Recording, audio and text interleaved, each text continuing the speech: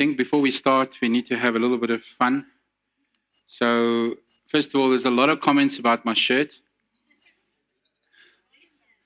And I want you all to know that it's um, let it be to me according to the word of my wife.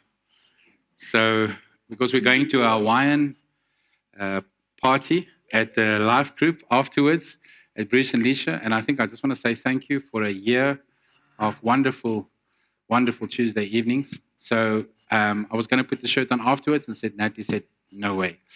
Uh, you have to wear it.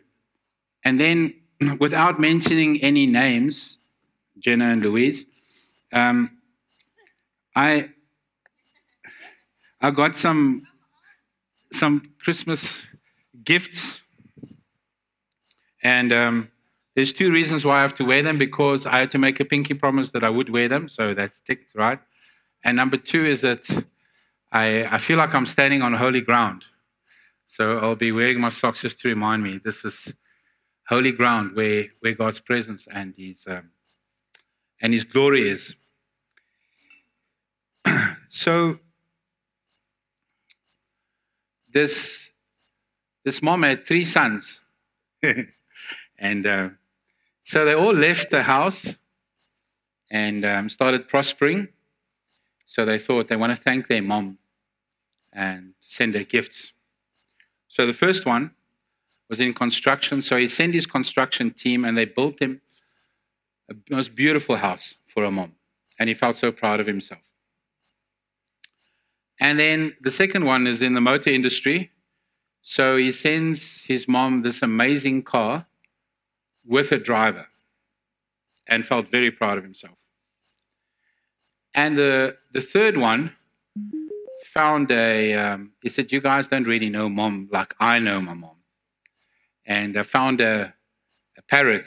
You see, and it took the elders of the church 12 years to teach this parrot how to recite every single verse in the Bible. So you just say the verse, and the parrot recites it, and uh, sends the parrot off to, to the mom.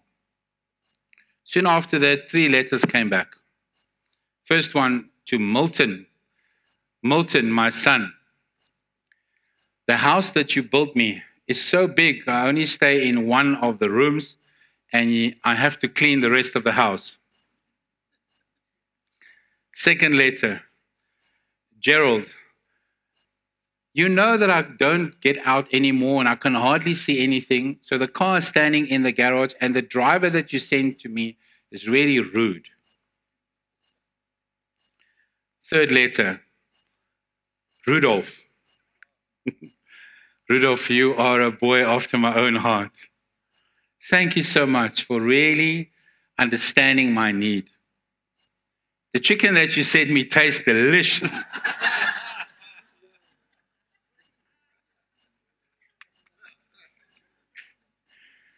Mmm.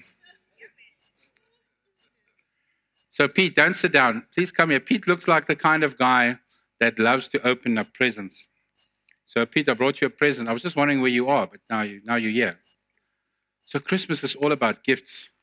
But before I give you this gift, Pete, do you believe that this gift could bless every single person in this room? Yes.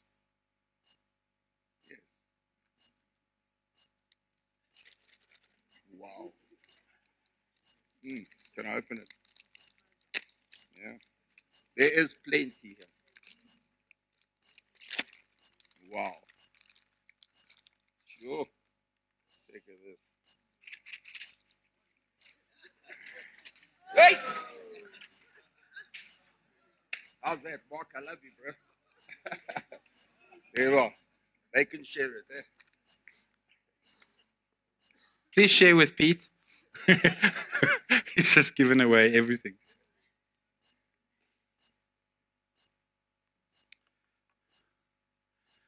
I want to talk about uh, Mary this morning. And my mom is here. And I just want to take a moment to honor my mom. Uh, thank you, mom, for many, many things, of which one is I'm still alive. No, I'm serious. Uh, Soweto, 1989, when we didn't have cell phones, sticky boxes, 2 o'clock in the morning. put the 20 cent in. Hi, mom, we're leaving now. She would stay awake on her knees and pray. Four o'clock in the morning. Hi, mom, we're all still alive. Uh, we come back. And yeah, many other things, but I um, just want to honor you for being here and all the years of just, I would say, praying me into the kingdom. And then when Ryan Matthews was here, he said something so profound. He said, Jesus and myself were developing this special language that when he speaks, I know it's him. I thought, oh, wow. I'm also sensing something like that, but he, he coined it in such a way. So I said to Jesus before this morning, I would like to talk about your mom.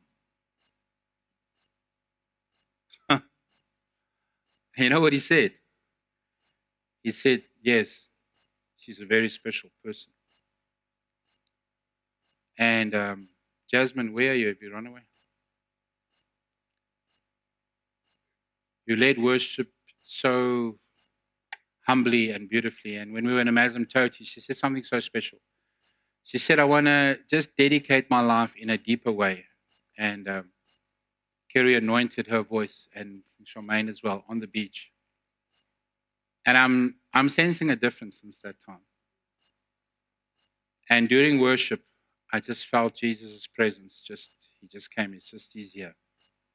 I know that he's here, but he's he's come to sit down and to listen what we would say about his mom. And that's very, very special. And uh, so awesome because I don't even have to read because Lisha's going to read. This portion of scripture reveals so much about who Mary is. And everything that I'm going to say this morning is in this portion of scripture. So we're reading from Luke 1, from verse 26, the birth of Jesus foretold. In the sixth month of Elizabeth's pregnancy, God sent the angel Gabriel to Nazareth, a village in Galilee, to a virgin named Mary.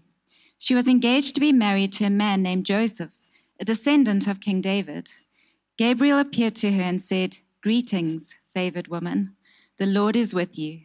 Confused and disturbed, Mary tried to think what the angel could mean. Don't be afraid, Mary, the angel told her, for you have found favor with God. You will conceive and give birth to a son, and you will name him Jesus. He will be very great and will be called the Son of the Most High.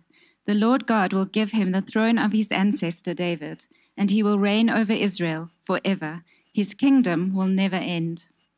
Mary asked the angel, But how can this happen? I am a virgin. The angel replied, the Holy Spirit will come upon you, and the power of the Most High will overshadow you. So the baby to be born will be holy, and he will be called the Son of God. What's more, your relative Elizabeth has become pregnant in her old age. People used to say she was barren, but she has conceived a son and is now in her sixth month. For the word of God will never fail. Mary responded, I am the Lord's servant. May everything you have said about me come true. And then the angel left her. Thank you. Thank you, Lisha. There is so much in this encounter. It's an actual encounter, it's very supernatural. She's encountering an angel, angels talking to her. There's a love letter from the Father towards her the Holy Spirit is going to overshadow her. And it's interesting just to see how does she respond. Well, she was troubled. have you have you seen that when there's encounters uh, in Scripture, the first thing that comes out of the angel's mouth or out of Jesus' mouth, is says, "Don't be afraid," because it's a supernatural encounter. Rejoice. She considers. She's troubled. She's asking questions. It's okay to ask questions, to say, Lord, what are you saying? She said, How can this be? And then eventually she says, Let it be to me, according to your word. So the first thing that happens is that Mary wonders. She wonders. You see, being a child of God is not just going to church and going home.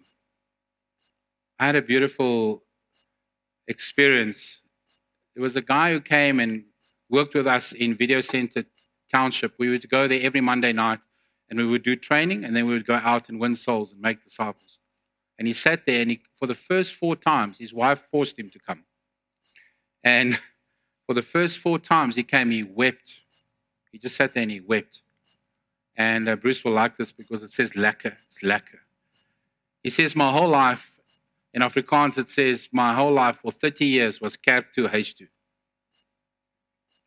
Go to church, come back home. And in the last four weeks, I have seen more people get delivered, touched, saved, baptized than in 30 years, and he's weeping. He is in Saudi Arabia now among unreached people groups, sharing the gospel as a fighter pilot mechanic on a contract there. That's what God has called him to do. And he's alive and burning for God's glory. One touch from heaven shifted everything. You see, there's more than just going to church, there is a sense of some kind of wonder outside of you, putting your putting a finger on you, coming to you, dealing with you, but then loving you. So when we had the pastor's dinner here, there was a lady called Nao. Kerry knows her very well. There's a beautiful photograph of the two of you putting your noses, pointing your noses at each other. She's such a ball of fire. I don't know how she got onto that list. Um, I looked on that list, and then we were looking for table hosts. And um, so I said, No, would you be a table host? She said, Listen, I'm not a pastor. I'm not pastoring a church. It's my first time to a pastor's dinner. You want me to be a table host? I don't know what is a table host. Then she came early, and we had an Africa Enterprise strategic meeting. By the way, next year, September, Joburg is going to rock for the kingdom. It's going to be a whole year of preparation. You'll hear more about it. She ends up in a strategic meeting. The director of Africa Enterprise flew over for this meeting. Now she's sitting in this high profile meeting. She comes to me and she's like overwhelmed that she's amongst these, uh, what, 50, 60 leaders here. And she's, she's saying what's going on. And she says, she walks up to me and she's like, I can see the Holy Spirit's all over. She says, Do you have a word for me? Do you have a word? I was going to say, Yo, go dish up. That's your word, you know. I remember, I remember I heard when Rhema first started, people would knock on Ray McCauley's door um, in the wild days at two o'clock in the morning. Pastor, Pastor, do you have a word for me? He says, Yeah, go to sleep. Do you have a word for me? I said to her, Yes, the book of Esther. Do you know that she phoned me uh, in this week. She said, I've, I've completed. I said, I, complete, I forgot about it. I completed what? She said, I read the whole book. And she said, I read there that for such a time as this, I've come into the kingdom. Now she's involved with DIA, she's involved with Time to Rise, she's involved with the prayer circles. Suddenly, something has completely shifted uh, in her life. She's having a kind of an encounter with God, is what Mary had. And there is a love letter for you and for you and for you, and an encounter and a consideration and a process that God is busy working with you because the good work that He has started in you, He's going to complete.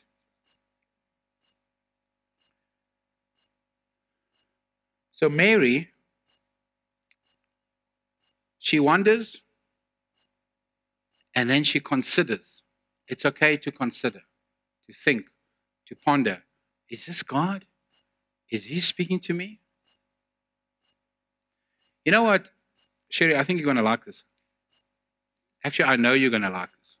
Actually, I am fully confident that you are going to. I am so sure that you are going to like this that I'm just going to read it. It echoes what when you preach, when you I just want to say that there's a there's a beautiful teaching anointing on your life.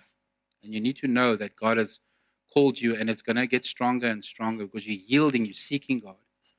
But in your preaching, it sounds something like this Mary is not saying, what is she not saying? She's not saying, it's clear now. I get it. It's crystal clear. I love this plan. I love this plan. I'm so excited to be part of it. Thank you very much for delivering the email. I've opened it with attachment. You know what she's saying? She's saying it doesn't make sense at all. But I will pursue and I will follow. You know, these two, they're sitting here uh, in the front. Actually, Dave, he's not here. Hey. So, Dave is busy tuning Mark at Life Group, okay? And um, I love the way Mark responded. He says, Dave, you need to watch your tone. But while you watch your tone, continue. so you can continue to talk to me, but you must adjust that attitude. You know what? That is a very, very mature way to handle a very, very difficult conversation. It says, uh, the, the, the, aggr- the your, this aggression attitude that you have with me, I think just check it a little bit, but continue. I, I'm still here. I'm going to listen. It's kind of like, Mary, this is really intense, but let's continue. Let's move. Let's move further. You know what Mary is saying? She's saying this. She says, I am a poor, uneducated girl. Remember, she was a teenager. She's saying, I will be a social outcast if you, God, bring this child into my life. She's saying, How is this supposed to be saving the world? You know that Annalisa at one of the Missions Connect sessions that we had, she said, God has spoken to me about thousands of people coming into the kingdom, but I don't know how it's going to happen. But God has shown you something. And how is this going to save the world? I don't know. How am God's going to use me to touch the world? Have you ever asked that question? I know there's a calling, I know there's a word. The angel answers her literally with God. Nothing is impossible. Actually, Derek, you've had a word from God. What the angel's actually saying, and he's saying something to you, is no word from God will ever fail. And Eli said, Put that in your pipe and smoke it. no word from God will ever fail. Blessed is she who believes. So Mary wonders, she considers, and now she responds. She starts responding. You see, Mary has been trained not to believe that God could ever become a human being. Think about her background, her culture. God cannot become a human being. God is God, and we are here, and He's up there. So she doubted. She questioned. She has biblically theological questions. She reasons, and then she makes a decision. She makes a decision. You see, this decision is not blind obedience. This is what I find the most fascinating thing about this material going through this. It says, but it is one who is, this decision is theologically grounded. It's a theologically grounded decision. You know, the Bible says, let everything be established by two or three witnesses. So you have the witness in your heart, you have the witness in, in the word, but you also have the witness of people that you can trust that can speak inside of your life. And when you line those things up and then you make a decision, right? It's a good decision. It's a solid decision. And even if that decision is a total disaster, God will work it together for the good.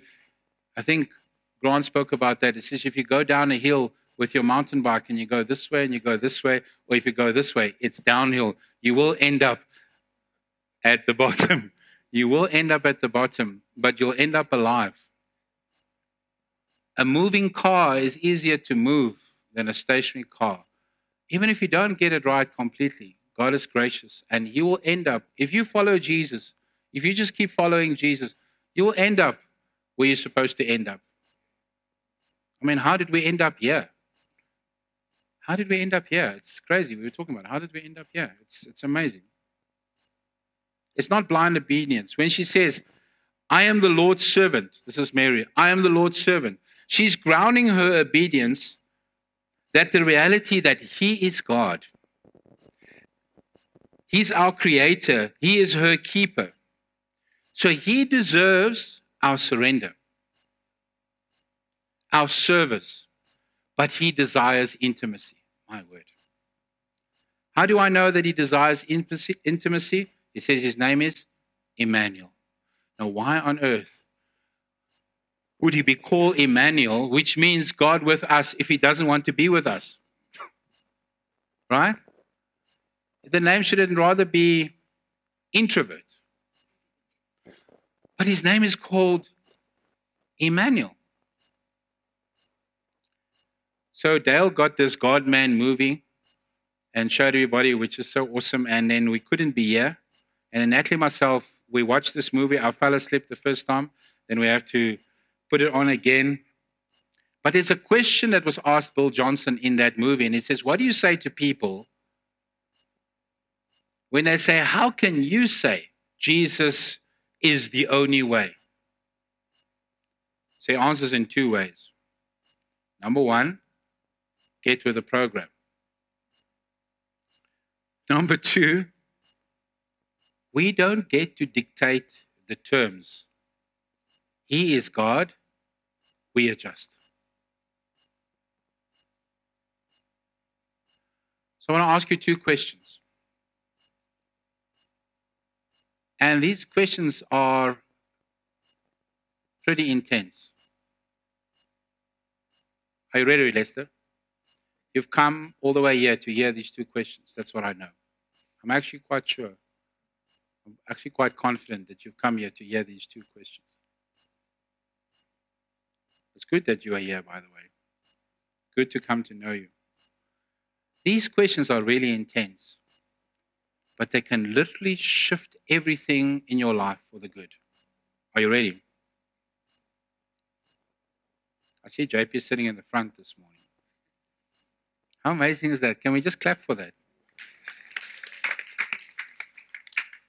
That means the team at the back, something good's happening there. The glory is actually at the back. I can see it. Oh, it's a timer. All right. So it's the project. I saw this glory. Oh, it's a, it's a projector.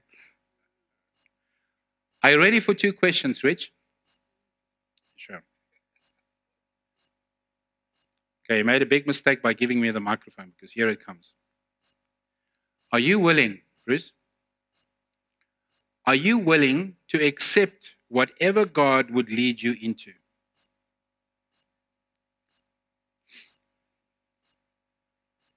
Let me just read it again. Peace. Are you willing to accept whatever God would lead you into? Because you have a choice. You can say, No, I didn't.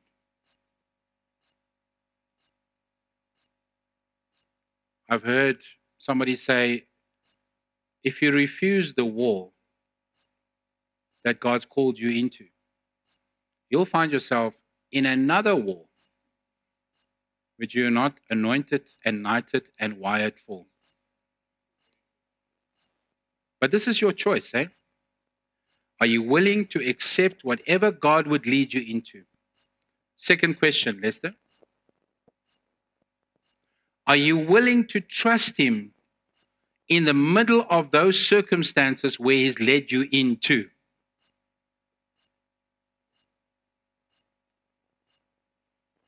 So here comes a serious, serious consideration. It's like a marriage proposal. You have to really think about it. If you, if not, if not, if you've not considered those two questions, maybe your walk with God does not include lordship yet.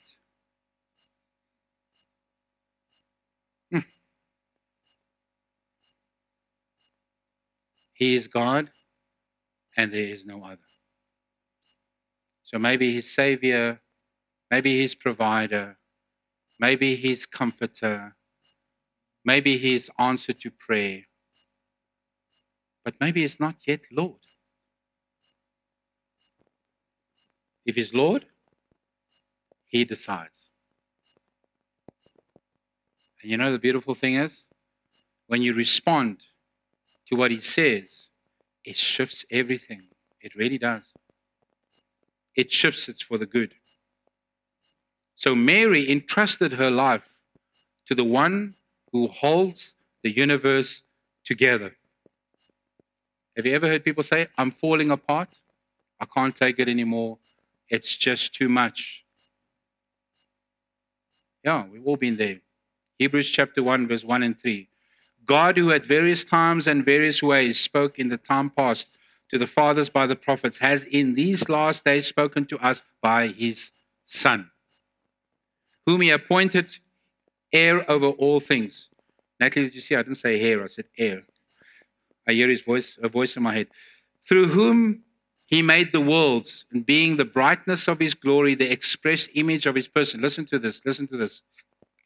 And upholding all things by the word of his power when he himself purged our sins and sat down at the right hand of the majesty on high, holding all things by the word of his power. You know what Mary is saying? It says, if you can hold the stars, if you can hold the sun in place by the word of your power, you can hold me. And if I trust myself, if I release myself into this, you're going to hold me and you're going to use me and you're going to be close to me. She's making a theologically sound decision. So maybe my daughter is going to cry, but I'm going to cry. So in, in 2012, after 22 years, after 22 years in a mission organization, we left. God led us out there. Now, what do we do? Oh, we had many ideas. We thought we were going to be in Mozambique as missionaries, many ideas, many ideas. And we came to this point to say, God, what do you want? So I said to Natalie, Would you be okay if I pray a prayer and I say to, we were in the car, God will, will go wherever you tell us to go. She said, There's nothing worth more than surrender to the will of God. So we prayed that prayer together in the car, July 2012, 2012. And um, the glory of God came into the car. It was like, I don't know how, but just this peace came. I don't know where we were going, but we surrendered. So Natalie says, we better tell the kids what we've done. So we called Jesse uh, and Faith into the room. And the only way I could think to do it was, and uh, I'm not an artist. So I drew Africa. See, I'm not an artist. And there's Europe, and there's Asia, and there's Russia, and there's America, and there's North Pole, and there's South Pole. Why are you laughing, Anita? So, Australia, Seychelles. So, oh, by the way, Pauline, this is for you. Israel lies center to three continents very strategically. Why was Jesus not sent to the South Pole, you know, North Pole? Sent, and in here sits all the trade routes. Okay, just saying. Paulina's having dreams about Israel, about going to Israel. So I drew this picture and I called the girls in and we told them the story. We said, We're going to ask God wherever He sends us. And then X marks the spot. So on this map, we're going to make an X and we're going there. Uh-huh. And um, and then this most beautiful thing came. We said 50% of this decision is the two of you. You have 50% shares, and 50% is us. So I'm going to give you 10 minutes. I'm leaving the room. You go, you pray, and you come back and say, Where's God saying? I need a location. Because X is going to mark the spot. We leave everything, we go there. And the Holy Spirit said to me, If you go where I tell you to go, you will bear fruit there and you'll be provided for. Two promises. So I go out the room, I come back, I find them crying. So now they are at Fourways High. Um, I can't remember the grades. High school. Dad, all our friends are here. Our horses are here. Oh, in Mozambique, there are no horses. They ate them all. Okay. So I didn't see one horse. I mean, the five, six mission trips, I didn't see one horse. They've all been. Uh, the mission said you throw dead animal parts on the fire. That's a bribe. Okay. He said, if we take our horses to Mozambique and they're crying, I thought, oh my word, this is really not going well. Anyway, cut a long story short 50% their plan, 50% our plan. We're staying here. Fourways.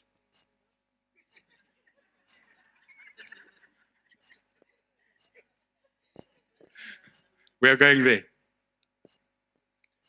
And this peace came. Okay, that's fine. We're staying here. We're going to stay here. And there's a, on my uh, calendar, on my board in my office, there's a picture of this. I still have it. And it looks like this.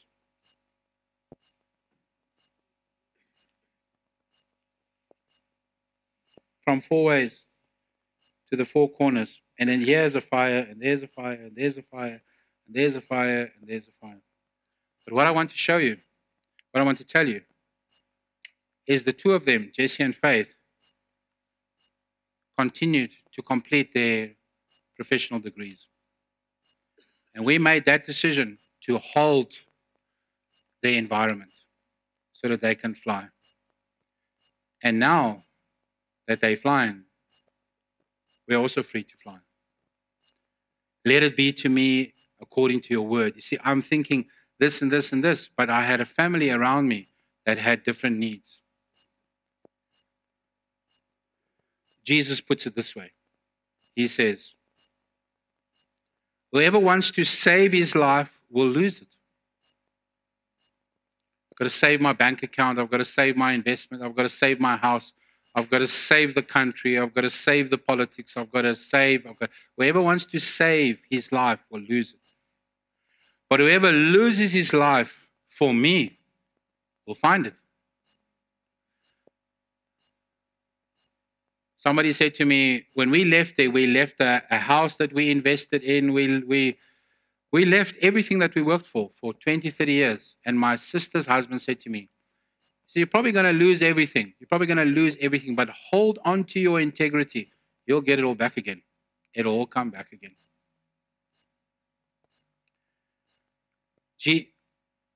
Jesus surrenders.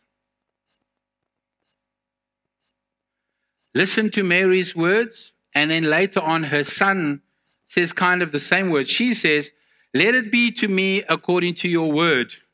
And years later, her son says, Not my will, but your will be done. He uses his mother's words, but in a different way and in his own way. What happens? Mary is renewed. Yet inwardly we are being renewed day by day. Through the washing and the regeneration and the renewing of the Holy Spirit, whom He poured out on us abundantly through Jesus Christ, our Savior. You know what happens next?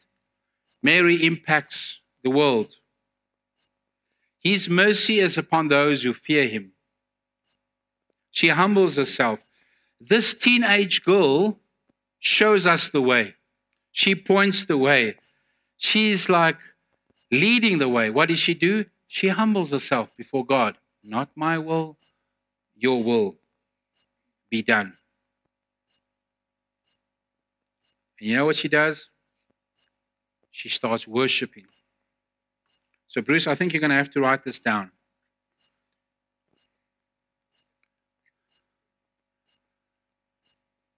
I want to give you a gospel line that you can use to touch people during December. Just now, we're going to sing that song, Mary Did You Know? And that song is a summary of this whole preach.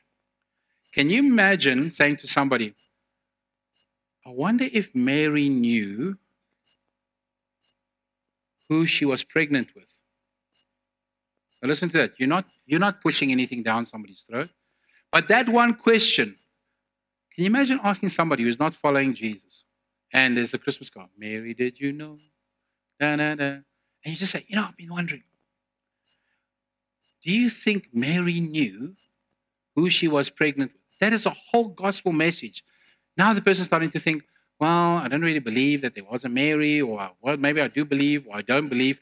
But you can start thinking to say, she was pregnant with the Son of God. It can open up a whole other conversation. Sometimes we think that we have to be weird and wonderful to reach people for the gospel. But Jesus put it like this He did not speak to the crowds without using parables. He translated it so that it's contextually relevant, but it carried the anointing. It was still God's word. Mary worships. She worships. She says, My soul glorifies the Lord. My spirit rejoices in the God, my Savior. She's not saying, My soul did this and my spirit did this. She's saying, I am worshiping from the depth of my being. She surrendered and now she worships. I want you to say this after me. And as you do, let's glorify the Lord together. These are our words. Say after me, My soul magnifies the Lord, for he has regarded the lowly state of his maidservant. For behold, henceforth all generations will call me blessed. Just pause there. You know that the purpose and the calling of God upon your life is so powerful that all generations could be touched by what you are doing and your surrender? Mary says, All generations will call me blessed. And it happened. Say after me, For he who is mighty has done great things for me, and holy is his name. Thanks, Alicia. If the worship team can come up.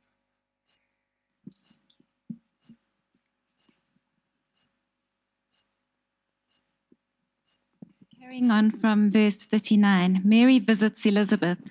A few days later, Mary hurried to the hill country of Judea, to the town where Zechariah lived. She entered the house and greeted Elizabeth. At the sound of Mary's greeting, Elizabeth's child leaped within her, and Elizabeth was filled with the Holy Spirit. Elizabeth gave a glad cry and exclaimed to Mary, God has blessed you above all women, and your child is blessed. Why am I so honored that the mother of my Lord should visit me? When I heard your greeting, the baby in, me, in my womb jumped for joy. You are blessed because you believed that the Lord would do what he said. Elizabeth prophesies this over Mary and reassures her. She gets reassurance from the, from the person that's close to her. It actually says it was Leah. Lee. It says there that she stayed there for three months. She went on to a silence and solitude into the mountain. And she stays with Elizabeth. And she's reassured that this, this is a big thing that's happened to her. The Holy Spirit has overshadowed her. She's going to have a child. And everything that Elizabeth is saying to her is locked up in the song. So maybe in today's terms, we would say, Mary, did you know? just relax and um, just listen to the song, and then we'll wrap this up.